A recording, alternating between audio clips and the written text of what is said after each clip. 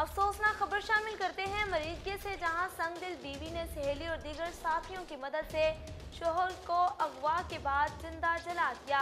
मुतासरा मेहनत कश इंतहाई तशवीशनाक हालत में अस्पताल मुंतकिल।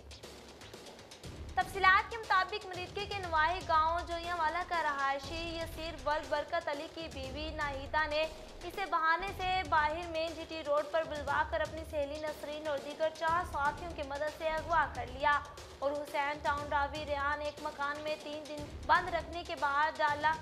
नाना डेट के करीब ले जाकर जला दिया, जिसे इंतहाई तशवीशनाक हालत में हेडक्वार्टर अस्पताल मरीज़ के पहुँचा दिया गया। वाजिया रहे कि मुतासर शख्स की हालत तशवीशनाक बताई जा रही है।